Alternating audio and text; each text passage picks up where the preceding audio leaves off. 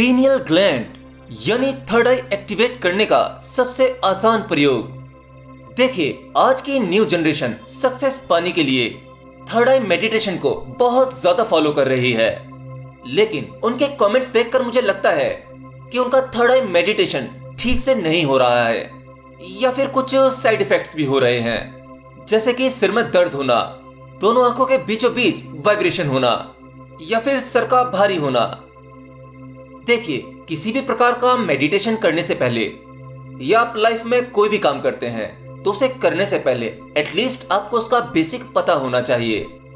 आपको केवल इतना पता है कि थर्ड आई मेडिटेशन करना है तो आँखें बंद करके तीसरी आँख पर ध्यान देना है, जो माथे के बीचों बीच है। और बस, कुछ दिनों के प्रयोग के बाद आपकी थर्ड आई एक्टिवेट हो जाएगी और आप एक दुनिया के शक्तिशाली इंसान बन जाएँगे। नहीं, ये ऐसा नहीं है।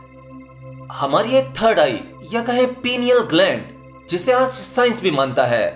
इसी वजह से विज्ञान ने इसे नाम दिया है छठी इंद्री का पीनियल ग्लैंड असल में थर्ड आई ये आपकी भीतरी आँख है विच इज़ नॉट फ़िज़िकल ये आपके भीतर छुपी हुई एक संभावना है, जो कि सूक्ष्म है। आप किसी इंसान की उस जगह पर चीराफाड़ी करके देखोगे तो आपको वहाँ कोई भी थर्ड आई नहीं मिलेगी। मैंने कहा, ये आपके भीतर छुपी हुई एक सूक्ष्म संभावना है। तो अब ये बाहरी चीज़ नहीं है, आप ये जान गए। ये आपकी भीतरी चीज़ है, घटना भी भीतरी है। तो जब ये एक्टिवेट होती है तो क्या होगा? देखिए, इसे एक्टिवेट होने के बाद आपको अपने भीतर ही प्रवेश मिलता है। तभी आप अपने आप को जान पाएँगे जब आपकी तीसरी आँख खुल जाएगी। देखिए, अगर किसी साधक को समाधि में प्रवेश मिल जाता है तो समझो, वह उसकी थर्ड आई की वजह से ही मिलता है। क्योंकि समाधि की इस दुनिया में जाना, उसे देखना, वहाँ का अनुभव करना, यह आपकी इन दोनों आँखों के बस की बात नहीं है। आपके सूक्ष्म शरीर का या कहें सूक्ष्म जगत का, वो सभी अनुभव आपकी तीसरी आँख की वजह से होता है। तो बिना थर्ड आई ओपन हुए, आप सही मायनों में ध्यान में भी प्रवेश नहीं कर सकते। आप समाधि में नहीं जा सकते। इनफैक्ट आप अपने आप को नहीं जान पाएँगे। आप अपने बारे में केवल उतना ही जान पाएँगे। जितनी की आपको जानकारी मिली है, जो कि बाहर से मिली है, स्वयं का अनुभव तो आपको नहीं होगा।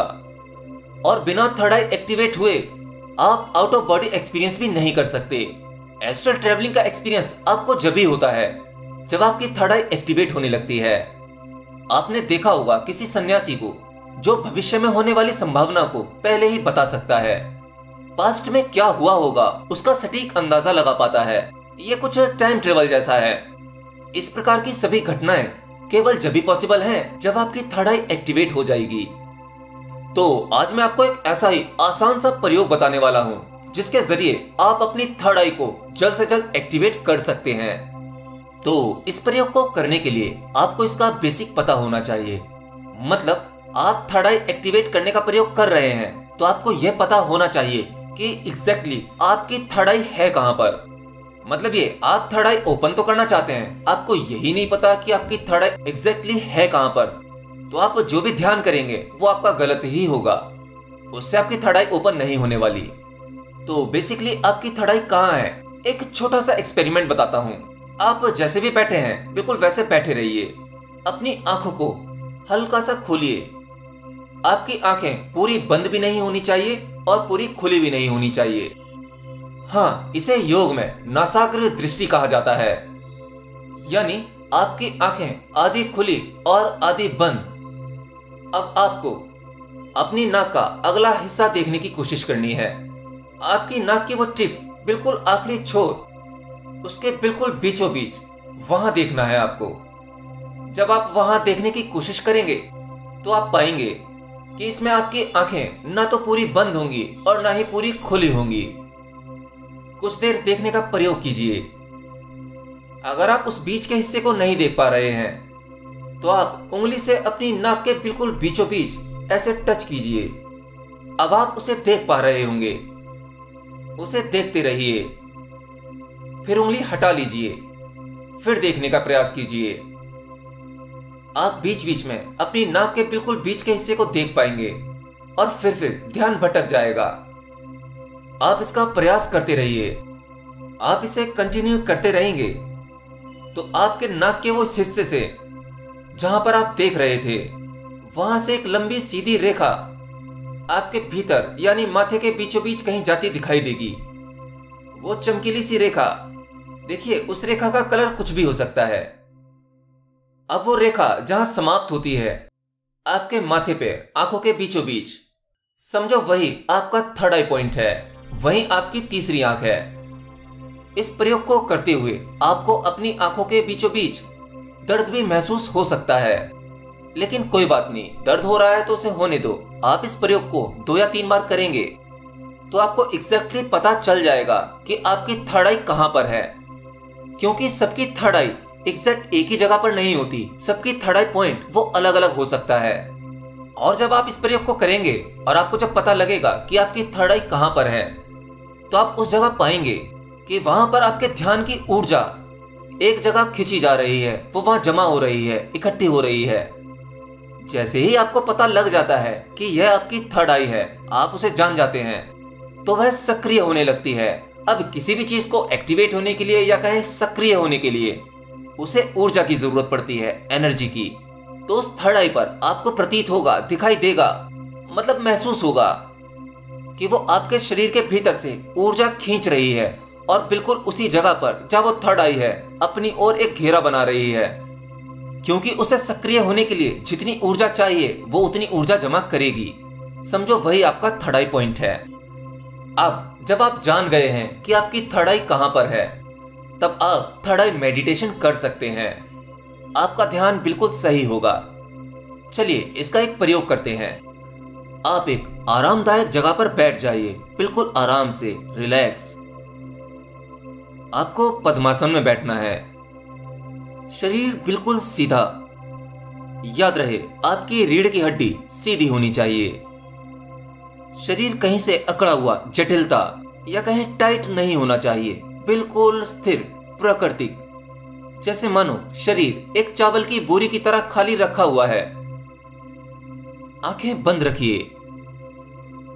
अब अपनी सांसों पर ध्यान लगाइए। सांसों को अंदर बाहर आते जाते देखिए। आराम से।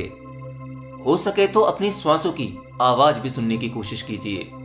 क्योंकि वायु जब आपके भीतर प्रवेश करती है और बाहर निकलती है, इस श्वास का भी एक घर्षण होता है आपके शरीर के भीतर। आप कोशिश कीजिए वो आवाज़ सुनने की। जब आप श्वासों पर ध्यान लगाएँगे तो आपके विचार नष्ट हो जाएँगे। और जब आपके विचार नष्ट होते हैं तो आपको ध्यान की शक्ति मिलती है। आपको वो शक्ति महसूस करनी है, जो अब श्वासों के साथ आपके भीतर जा रही है और बाहर निकल रही है। आपको विजुलाइज करना है कि जब आप सांस ले रहे हैं तो श्वास के साथ एक चमकदार चीज़, एक एनर्जी वो ऊपर की ओर जा रही है। अब आप उस शक्ति को उस एनर्जी को बिल्कुल वहीं पर लेकर जाइए, जहाँ पर आपकी थड़ाई थी। अब आपको पता है कि आपकी थड़ाई कहाँ पर है। शक्ति को वहीं लेकर जाइए। आपकी पीनियल ग्लैंड उस शक्ति को अपनी ओर आकर्षित करेगी, उसे जमा करेगी। आप इसी प्रकार से वहीं पर, जहाँ पर आपकी तीसरी आँख है, ध्यान करते रहिए। करते रहिए। कुछ देर बाद आपको अपने श्वासों का भी बोध नहीं होगा। श्वास छोटी होने लगेगी। उसे छोटा होने दो। ध्यान अपनी तीसरी आँख पर रखो। करते रहो। आपको जो भी दिखाई देता है, दिखने दो। जो भी अनुभव हो रहे हैं, होने दो।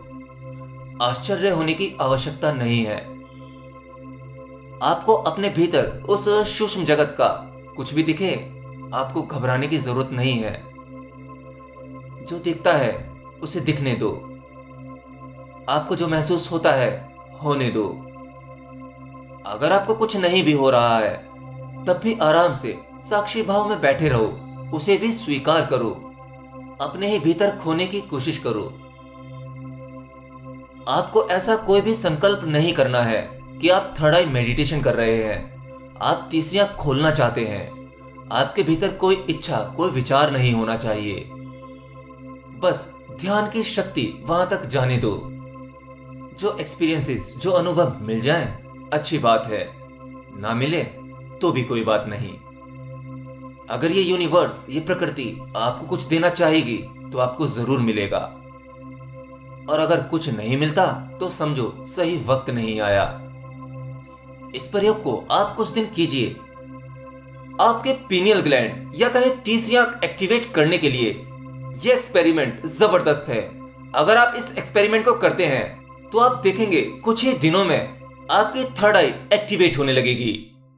याद रखना, जब तक आपकी थर्ड आई एक्टिवेट नहीं हो जाती, तब तक आप कोई सा भी ध्यान कर लें। अब चाहे विपसना करें या कोई सा भी ध्यान, वो सभी ध्यान केवल आपके लिए एक्सरसाइज हैं। ध्यान में प्रवेश जब ही होगा, जब आपकी थर्ड आई एक्टिवेट हो जाएगी। उससे पहले की गई सभी क्रियाएँ समाधि में जाने से पहले की एक्सरसाइज है। ध्यान के बाद होने वाले सभी अनुभवों के लिए यह केवल एक प्रयास है। एंड हाँ लास्ट में अच्छा होगा कि थर्ड आई मेडिटेशन का प्रयोग आप किसी सिद्ध पुरुष या गुरु के सामने बैठकर करें तो आपको जल्दी फ़ायदा होगा। बाकी आपको थर्ड आई एक्टिवेट करने की विधि जाननी थी तो मैंने बता दी।